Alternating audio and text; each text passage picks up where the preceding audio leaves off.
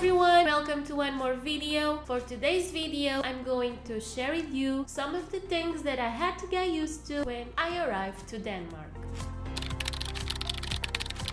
First, let's talk about the Danish obsession with bikes. In Denmark, bikes are a way of life. You will see more bikes than cars on the road. I also had to embrace the cycling culture and it's actually amazing for your health and for the environment. If you move to Denmark or if you come to Denmark for vacation, be prepared to hop on a bike and ride your way through these beautiful streets. Next on the list, personal space. Or should I say the lack of it? Or should I say, or should I? In Denmark, personal space is minimal, especially in crowded areas, public transportation, or busy streets. When there are many people on the street, other people sometimes don't realize that they need to step aside just a little. And I had to get used to often bumping into one another because I'm as distracted as they. It's part of Danish life. You eventually learn to adapt. Now, let's discuss something that you probably are not expecting, at least I wasn't, and that's the quality of the water here in Denmark. One thing I absolutely love in Denmark is the quality of the tap water. And I wasn't quite expecting this because in Portugal, quality of the water is a little bit different and water usually doesn't taste good. I believe in general it's because plumbing in Portugal tends to be a little old and poorly maintained but yeah, here I don't need to buy bottled water. I just I don't need to buy bottled water. I just fill up my glass of water straight from the tap and I'm good to go. And believe me, I'm very picky with the taste of water. Next on the list, the dark days. Bum, bum, bum.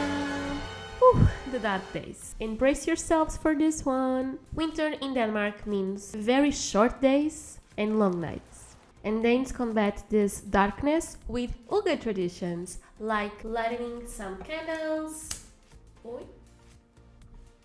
enjoying warm beverages. I have to be honest, I love this culture of the candles, the yellow lights, but indeed, the sunlight is really important. I had to start taking some vitamins when I arrived to the country because you quickly start to feel the lack of sunlight. Let's just before I start a fire. One more thing that I had to get used to is the hours of the stores here in Denmark. It's quite common here for stores to close between 6 pm and 7 pm. And this compared to the stores in Portugal is really different because in Portugal stores usually close at 8 pm, clothes stores and big supermarkets at 11 pm. It was quite a difference and I really had to adapt to this and I'm not fully adapted yet to be honest. But I also learned that this early closing time is part of Denmark's work-life balance and reflects a cultural emphasis on spending time with family and friends. One more thing that when I arrived here I just loved it is recycling cans pays half. Yeah, in Portugal this doesn't make any sense because we just threw the cans in the recycle bin. But here in Denmark, you can save your cans and get your money back. It's true. Denmark has a fantastic recycle system where you can get your money back for returning beverage cans. There are a lot of machines for that purpose in a lot of the supermarkets spread all over the country. So there you have it, some of the things that I had to adapt when I arrived to Denmark from embracing the bike culture to the darkest days. And I had to be honest, the darkest days is the more difficult thing for me.